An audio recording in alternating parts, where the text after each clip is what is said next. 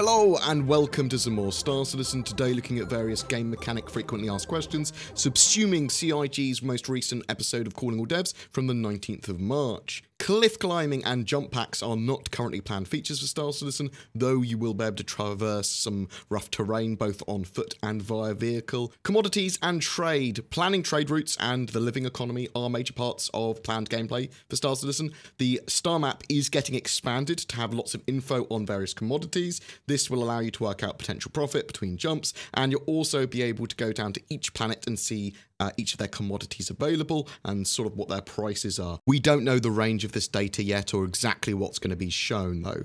Ship radars are locked to the ship, so you can't have a different type of radar. So some have 2D radars, some have 3D. They are going to project the 3D style radars using render to texture tech into the 2D format. This basically allows them to have a single radar system across all of the ships and then either display it in 3D or 2D it's much easier for them to maintain and change and much more efficient going forward. EVA velocity when you jump out of ships is not preserved, nor is it planned to be preserved in the future. In fact, if you leave your ship at the moment at high speed, you're going to be slowed down to safer operating speeds for your EVA suit. In the future, they may look at doing some form of preservation of speed so you can jump between ships, but that's not currently planned.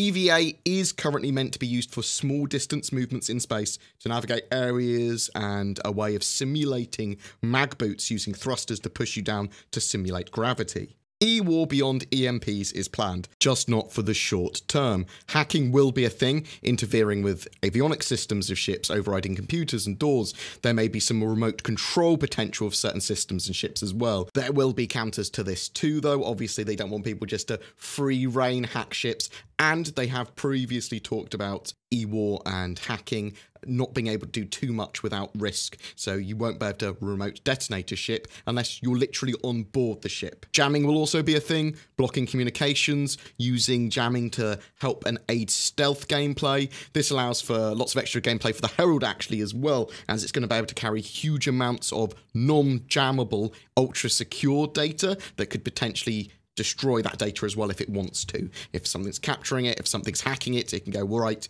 this data is too important to get into enemy hands, destroy it. EMPs, previous to 3.1, distortion damage wasn't set up correctly, causing EMPs or electromagnetic pulses, the big orbs of death, to be extremely overpowered. EMPs are much more balanced and effectively nerfed for 3.1, although they're still reasonably powerful. It's going to take the Warlock and Raven much longer to power up and use their EMPs. This also means we aren't going to have as much power for weapons and shields when we're using those systems. The blast radius has been tweaked as well, and the cooldown has been increased, so it's been kind of nerfed across the board effectively. This Thursday's Around the Verse will focus on audio in Star Citizen and the RTV should also be largely associated with that, though I suspect there will be some other information garnered. As usual, we will break down those broadcasts at the end of the week. Every month, we have a ship giveaway for March. It's for the Outpost Building Pioneer, by our featured org, Forgotten Heralds, a PMC with a history grounded in UEE military service.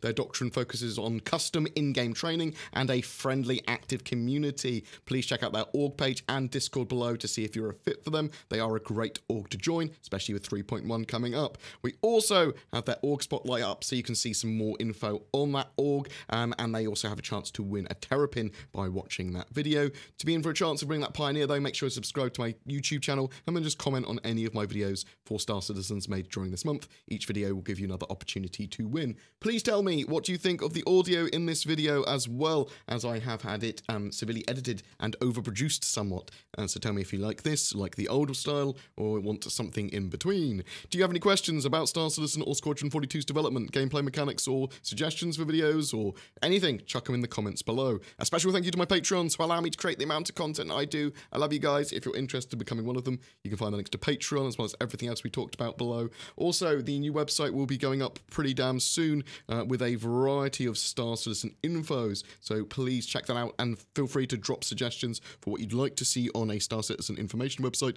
whether it be ship trackers, um, development trackers, and that sort of stuff, or if you want to look for more metadata, or if you want everything in the world. Please don't forget to like and subscribe as well, as it really does help me, and I will see you in the verse.